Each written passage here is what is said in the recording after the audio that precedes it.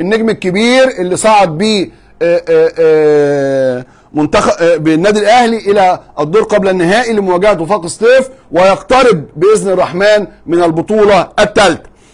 النهارده قبل ما أخش في موسيماني حذر مين من نجوم الكورة كابتن سيد عبد الحفيظ رد على كابتن وائل جمعة.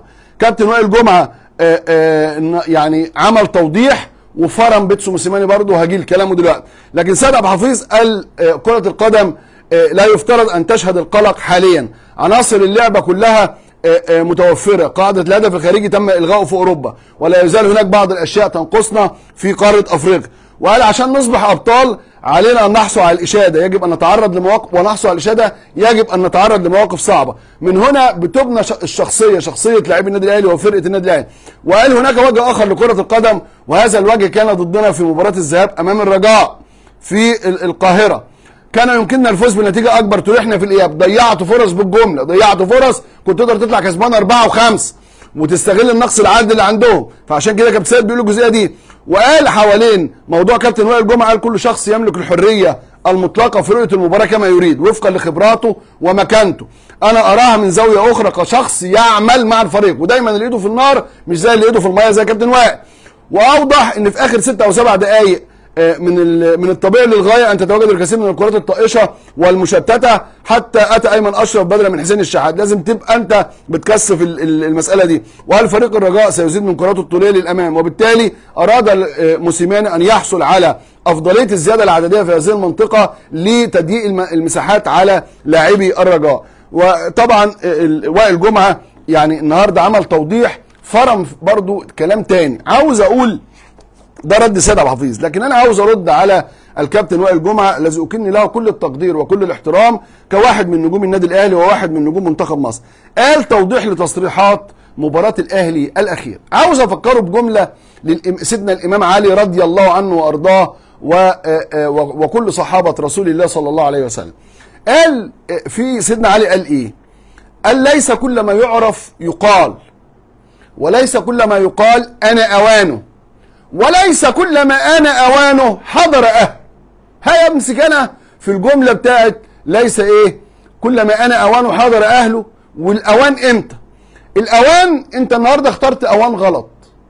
وليس كل ما يقال أنا اوانه أنت اخترت آوان تأهل الفريق على فرقة كبيرة وهي فرقة الرجاء المغربي على ملعبها وفي وسط 70000 متفرج وفي أجواء قبل المباراة كانت تنم عن يعني انفلات مش تنم كان فيها انفلات. بشكل آه، آه، غريب جدا جدا جدا يعني. فقال لي إيه بقى؟ فبالتالي الكلام عن السلبيات عند موسيماني مش ده وقتها. أمال يوسف شيبو يقول إيه؟ يوسف شيبو يقول إيه على رشيد الطوسي أما أنت راجع من المغرب ها يجيبوا جون يتأهلوا. يجيبوا جون يتأهلوا وما حصلش. وأنت بالحمد لله الحمد لله الحمد لله عامل مباراه عالية ومباراة موفقة. قال لك ال- التوضيح بقى يا كابتن آه، آه، وائل جمعة عشان هرد عليه. قال الاهلي يقدر يحقق أرقام أفضل من اللي عملها مع موسيماني مع أي مدرب آخر لأنه عنده لعيبة على مستوى عالي. ما الأرقام كلها اتحققت ما عدا دوري واحد بس دوري الموسم الماضي اللي فيه أخطاء من موسيماني وأخطاء من الحكام. تربص بالحكام يا كابتن وائل. إيه بقى خسر هو إيه؟ خسر السوبر المصري مع طلائع الجيش بضربات الترجيح ما إحنا قبل كده الأهلي خسر السوبر وانت موجود أيضا مع حرس الحدود وخسر الكاس وانت موجود أيضا. فده المباريات الإقصائية دي بيبقى ليها ظروفها خاصة مع لعيبة بيبقى عندها حماس كبير جدا في مثل هذه المباريات. فده الرد الأول. قال لكن مش معنى كده إن أتمنى الأهلي يخسر عشان موسيماني يمشي. موسيماني لو فاز ببطولة أفريقيا للمره الثالثة أتمنى أن يجدد طموحه مع فريق آخر. طب هو أنت وكيل موسيماني؟ يعني انت كابتن وائل هو انت وكيل موسيماني عشان تفكر له إنه يروح يجدد طموحه مع فرقة أخرى؟ ده راجل ماضي موسمين ماضي موسمين. يعني و... ليه ما تقولش يكمل ويعالج بعض السلبيات اللي عنده؟ لأنه بقى عرف الفرق ال- ال- المنافسة ليه في أفريقيا عرف الفرق المنافسة ليه في الدوري عرف الناس اللي عنده بتعمل إيه وبتسوي إيه وحاجات بالشكل ده. فأنت ما تقولش إيه لو فاز بالثالثه يمشي هنا مش حقك. ليه بقى؟ من منطلق قول سيدنا علي وليس كل ما أنا أوانه حضر آه انت لو عاوز تقول كده وأنت راجل نجم كبير يمكنك إنك تقول كده بينك وبين الكابتن حسام غالي زميلك بينك وبين كابتنك الكابتن محمود الخطيب. تلفت نظره تقول له لكن مش على الملأ وفي وقت الفرح. ما يجيش واحد بيتجوز واقول له هو المؤخر أخباره إيه؟ في قلب الفرح. أنت كده بتقول له كده. المؤخر أخباره إيه؟ هو حد يعمل كده يا كابتن وائل؟ قال لك وفاق ستيف أخرج عملاق افريقي هو الترجي الاهلي بيعرف يحترم منافسيه بشكل جيد. آه أخرج عملاق افريقي بس الاهلي برضه عملاق افريقي عملاق افريقي وهو الاكثر فوزا بالبطولات 10 بطولات. فأهم شيء موسيماني يظبط أموره مع الأهلي لأننا نستحق أداء أحسن من كده. الرجاء مش النسخة الأفضل لكن موسيماني محسسنا إن الأهلي فريق صغير. ده بقى كلام غلط. ده كلام غلط. الأهلي عمره ما كان فريق صغير. مفيش فريق صغير بياخد ثالث العالم موسمين متتاليين. بياخد بطولة أفريقيا مرتين متتاليتين. بياخد السوبر الإفريقي مرتين متتاليتين. هو ده اللي زعل الجمهور من حضرتك. بكل أدب. أنا بحب الكابتن وائل أصلا لكن هو قال على الملأ فإحنا كان بنرد عليه على الملأ. قال عندنا لعيبة كويسة اتنين منهم مهاجمين قاعدين على الدكة. طب يا كابتن وائل. طيب أيام جوزيه ما كانش بيقعد على الدكة؟ أيام جوزيه ما كانش بيجيب صفقات ولا توفق وبتمشي في نهاية الموسم؟ وكانوا بيبقوا أحيانا صفقات دون المستوى مش عايزين نقول أسامي عشان ما نغلطش في حد يعني. ماشي ما كان في لعيبة كتير قاعدة على الدكة. ما انت كنت موجود ونادر السيد قاعد الحضري على الدكة. مثلا المشكلة يعني المشكلة يعني أنا مش بدافع عن موسيماني. موسيماني له وعليه لكن أنا بقول إن الكابتن الكلام اللي قاله كابتن وائل لما يعيد نشره مرة أخرى أنت كده أنت كده بتخلي بتقول كلام مش في وقته ولا مكانه. لا وقته ولا مكانه. ليه؟ الفرقة كسبانة. افترض تتكلم عن الإيجابيات افترض تتكلم عن شخصية لعيبة النادي الأهلي اللي قدروا يطلعوا من مباراة زي دي بالتاهل ويرجعوا من المغرب بالتاهل ده موضوع مهم جدا جدا جدا. مش موضوع آه كده. إحنا ما إحنا انتقدناه بعد مباراة الذهاب. قال لو ما فيش لعيبة كويسة في الأهلي هقول لك أنا عاوز نتيجة بس. لكن إحنا عندنا لعيبة كويسة ولازم يكون الاداء أحسن من كده. الأهلي مش فريق ضعيف. إدارة الأهلي ساكتة. آه عشان موسيماني بيكسب بس طب ما هو المكسب ده ما هو ده الهدف. ما هو ده الهدف. ما هو ده الهدف يا كابتن.